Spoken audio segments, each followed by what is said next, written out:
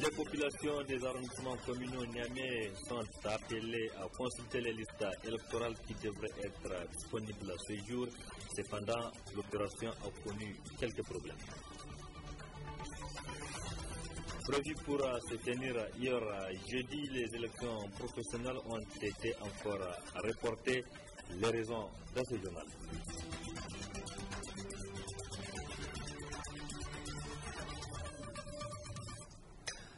Vendredi 23 octobre 2015, merci d'être sur la télévision. La barre poursuivra ce journal. Mesdames, Messieurs, bonsoir et bienvenue à tous. Le ministère de la Santé publique a été doté de moyens roulants composés de véhicules 4x4, de camions et de fourgonnettes frigorifiques d'une valeur de plus de 200 millions de francs CFA.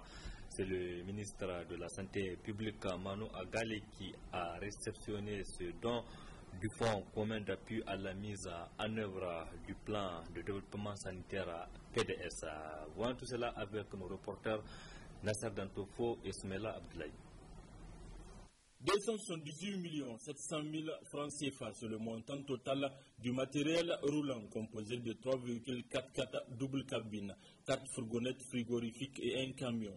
Ce don est gracieusement offert par le Fonds commun au ministère de la Santé publique. Objectif améliorer les conditions de transport et de stockage des vaccins et de matériel d'injection dans les régions du pays. Si la disponibilité des vaccins a connu une nette amélioration grâce aux efforts fournis par votre ministère dans le cadre de l'initiative de l'indépendance vaccinale, force est de constater que leur acheminement au niveau régional et départemental, selon les normes, constitue encore un goulot d'étranglement. Le lot de moyens roulants remis ce jour constitue une réponse à ces difficultés, permettant ainsi l'amélioration des conditions de transport et de stockage des vaccins et du matériel d'injection vers les régions et les districts sanitaires. Ils soutiendront également la supervision intégrée des structures. Cependant, je voudrais aussi noter que l'entretien et la maintenance et la réparation de ces moyens constituent un défi majeur dont je suis sûr que les services compétents sauront faire face. Ce don du Fonds commun, qui n'est pas d'air le premier dans ce domaine, a été vivement accueilli par le ministre en charge de la Santé publique. Je voudrais rappeler que le Fonds commun est l'un de nos plus grands partenaires qui œuvre pour le bien-être des populations nigériennes notamment dans le cadre de l'amélioration de la santé maternelle et infantile et le renforcement des capacités du système de santé avec des résultats que les agents de santé et les populations apprécient positivement. C'est ainsi que le Niger a bénéficié de plusieurs appuis de ces fonds en faveur des soins à la population et c'est dans toutes les composantes de la santé. Parmi ces appuis multiples et multiformes, on peut citer entre autres l'appui en véhicule, en moto, pour la supervision des formations sanitaires, ainsi que des multiples dons en médicaments. L'appui à la gratuité des soins aux femmes et aux enfants. Bref, l'appui pour la mise en œuvre des activités du plan de développement sanitaire 2011-2015. En outre, ces dons viennent à point nommé, car le ministère de la Santé publique est engagé de plein pied pour la mise en œuvre des réformes comme la révision du paquet minimum d'activité au niveau des cases de santé pour répondre aux besoins sans cesse croissants des femmes et des enfants, notamment en zone rurale. Deux des trois véhicules 4x4 double cabine reviennent à la direction des immunisations et le troisième au secrétariat général du ministère de la Santé publique. Les quatre fourgonnettes frigorifiques 4x4 seront affectés au niveau des directions régionales de santé publique d'Agadez, de Tawa, de Dosso et de Zander. Lancé officiellement le jeudi 21 octobre, hier donc, l'opération de l'affichage des listes électorales n'est pas effective au niveau des différents arrondissements communaux de la ville de Niamey. Dans certains arrondissements comme le 5e, les listes de plusieurs quartiers n'ont pas été affichées et dans d'autres, ce sont les supports d'affichage qui manquent. Le constat de notre reporter Nasser 24 heures après le lancement officiel de l'affichage des listes électorales, Force est de constater qu'au niveau des arrondissements communaux de la ville, les listes ne sont pas encore affichées. C'est le motif. Manque de tableaux pouvant servir de support pour afficher les listes. Les cinq coordinateurs, y compris le coordinateur régional, nous sommes concertés, on dit bon, il faut poser le problème, en tout cas au gouverneur.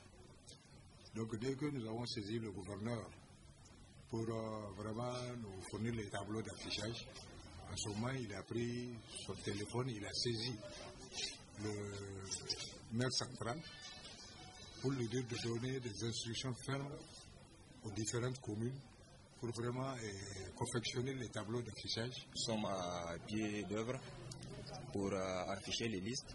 Donc, euh, il se pose des problèmes euh, d'ordre pratique que nous attelons à résoudre n'est-ce pas? Bon, ici c'est le simple problème, c'est qu'il n'y a pas, on attend le tableau chevalier. Donc ce sont ces tableaux-là. Vous avez vu les listes, hein, je vous ai montré les listes. Donc c'est vraiment énorme. Hein? Ici nous avons environ plus de 80 000 personnes recensées. Donc euh, nous prenons vraiment des dispositions pratiques pour pouvoir euh, sécuriser les listes pour que les choses se passent au mieux. Au niveau du 5e arrondissement, sur les 25 quartiers qui comptent la commune, seule la liste d'un seul quartier a été affichée. Une situation décriée par les habitants de cet arrondissement. Je n'ai pas vu mon nom pour le moment. D'ailleurs, c'est un seul quartier d'abord qu'ils ont fait sortir. Alors que dans la commune 5, dans le 5e arrondissement, il y a à peu près une vingtaine de quartiers.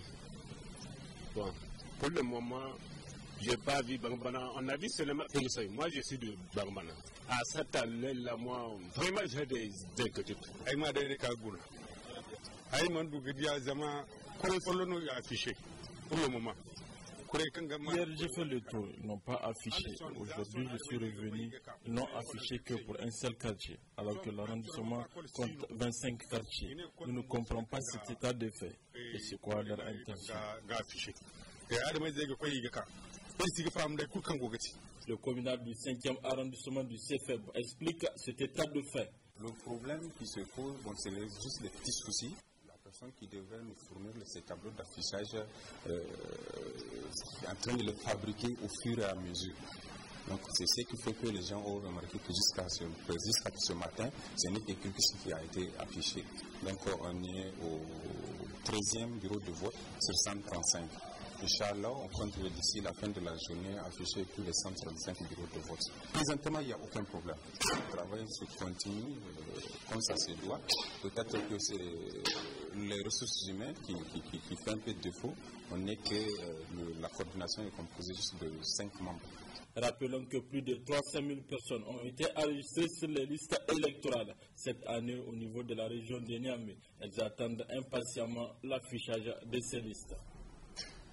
À les élections professionnelles au Niger, prévues pour se tenir euh, le 22 octobre euh, hier. Donc, euh, ces élections sont de nouveau reportées à une date ultérieure. Plusieurs raisons expliquent ce report, notamment le manque d'argent. Pourtant, les enjeux de ces élections sont d'une importance capitale pour les syndicats, les centrales syndicales. Reportage Sidikou Ousmane et Chebouguissou. Le suspense continue de perdurer pour les différentes centrales syndicales quant à la tenue des toutes premières élections professionnelles vivement attendues. Pour bien des raisons, ces dernières sont reportées. Comme vous l'imaginez, euh, un processus électoral, euh, il relève d'une dynamique sociale. Euh, il n'est pas très cartésien, j'allais dire. on ne peut pas présager de pouvoir planifier et exécuter de façon euh, extrêmement rigoureuse tout ce qui a été planifié. Et c'est d'autant plus que, même si ce n'est pas une raison, c'est une première au Niger. Nous avions eu un certain nombre de difficultés sur le terrain. À tout cela, euh, ce problème de type organisationnel et institutionnel s'ajoute évidemment à l'accessibilité aux moyens. Nous sommes dans un processus où nous devrons respecter les principes de la comptabilité publique. Donc vous comprenez que tout cela mis ensemble euh, il n'est pas très surprenant que nous ayons euh, quelques difficultés qui ne nous ont pas permis d'exécuter avec toute la rigueur requise notre euh, chronogramme. Un report qui ne surprend guère l'ITN au regard de l'impréparation qui entourerait tout le processus. Ça ne surprend pas parce que il y a des difficultés. Il y a des difficultés financières qui ont fait que même le recensement est, défectueux, il a été mal fait. Les, agents de recensement ont été recensés, nous l'avons dit aux, autorités, c'est selon le, le, ce n'est pas, sur la base de critères objectifs.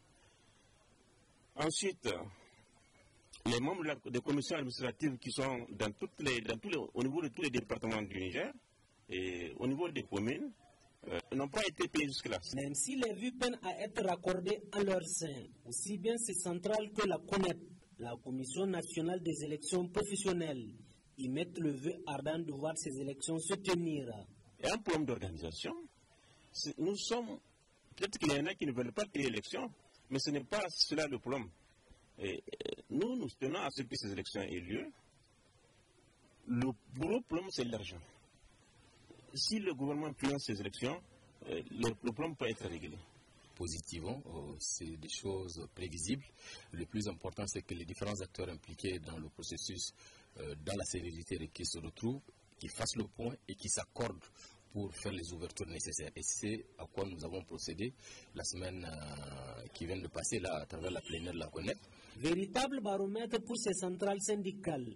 Une fois organisées, ces élections professionnelles pour beaucoup assainiront le paysage syndical nigérien et permettront de véritablement défendre les intérêts matériels et moraux des travailleurs. La lutte contre le terrorisme au Sahel au centre d'une conférence débat hier soir au centre culturel américain CCA de Niamey. Elle a porté sur les réflexions philosophiques sur le terrorisme au Sahel. Au cours de cette euh, conférence, des échanges enrichissants ont eu lieu entre le conférencier et les participants. Une conférence suivie par Sidikou Ousmane et Chebibiso que nous retrouvons. C'est un regain d'intérêt pour une question brûlante et toujours d'actualité que constitue le terrorisme au Sahel au cours de cette conférence débat un sujet dont les réflexions philosophiques sont passées au crible. Nous pensons que la science philosophique peut contribuer à la prévention et à la résolution des conflits, et ici à la résolution et à la prévention du terrorisme. Il faut le dire clairement, c'est que le terrorisme est en train de créer la désolation dans le monde et singulièrement au Sahel. Et la philosophie étant toujours fille de son temps, la philosophie doit être donc pensée. Une pensée donc du, terrorisme pour penser, pour euh, solutionner justement ce problème. Pour comprendre le terrorisme, il faut comprendre tous ces aspects. C'est là la place fondamentale de la réflexion philosophique. Le terrorisme au Sahel, un prolongement certes de l'idéologie djihadiste Al-Qaïda, mais qui n'en manque pas pourtant de solution. Nous pensons aujourd'hui que la solution, des solutions justement au terrorisme au Sahel, c'est une politique juste. Qu'est-ce qu'une politique juste? Une politique juste se traduit par une éducation de qualité, une économie sociale, libérale et solidaire, une culture de la citoyenneté républicaine. Questions et contributions diverses auront ainsi permis de ratisser large et d'en cerner les contours imprécis du terrorisme en vue de son éradication dans le Sahel qui continue d'en payer un lourd tribut. Plus de 15 millions de francs CFA, c'est l'enveloppe qui est mise en jeu par la compagnie de téléphonie mobile Orange Niger dans le cadre de la troisième édition de la nuit de la République Orange Tour. Une douzaine d'artistes nigériens vont se lancer à la conquête de cette somme. Une façon pour Orange Niger d'aider les artistes à se produire. Nafisa Adamou et Ibrahim Abdou pour le compte. Pour cette troisième édition de la Nuit de la République Orange Tour, ils sont au total 12 artistes musiciens de rap qui sont mis en compétition avec à la clé plus de 15 millions de francs CFA par l'opérateur mobile Orange Niger. Une manière de donner l'opportunité à ces artistes nigériens de se faire connaître avec naturellement une prise en compte de leurs aspirations qui sont entre autres la production de leur album, la promotion à travers une tournée nationale et la mise sur le marché d'un album international.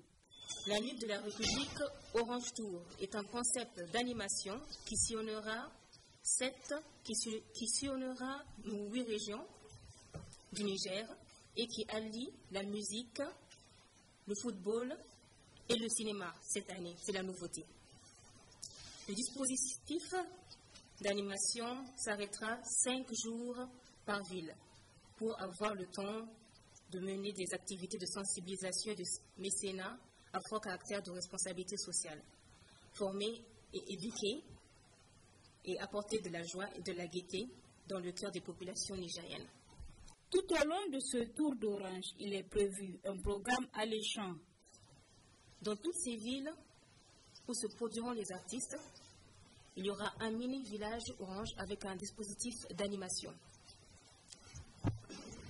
Du street football avec euh, un beau terrain gonflable où euh, nous aurons la joie euh, de voir des équipes de foot s'affronter.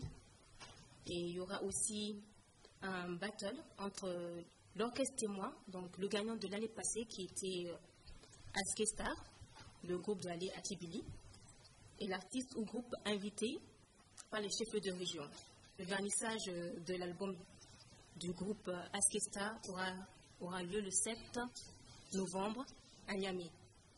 Donc vous pouvez commencer déjà euh, euh, appuyer, appuyer votre euh, artiste préféré ou votre groupe de rap préféré que vous voulez voir se produire en live le 19 décembre à Maradi. L'artiste ou le groupe de rap qui aura recueilli le plus de voix du public se verra offrir par Orange Niger l'enregistrement d'un album international à hauteur de 15 millions de francs CFA. Les concerts se produiront du 7 au 19 décembre dans les régions du Niger, hormis DIFA. Le SMS voting sera officiellement lancé ce 23 octobre à partir de 0 heure. Alors votez pour vos artistes préférés en composant le dièse 120 dièse et vivez des moments inoubliables. Point final de ce journal. Merci pour votre fidélité à la télévision. La Bari, excellente nuit à toutes et à tous et surtout bon début de week-end. Au revoir.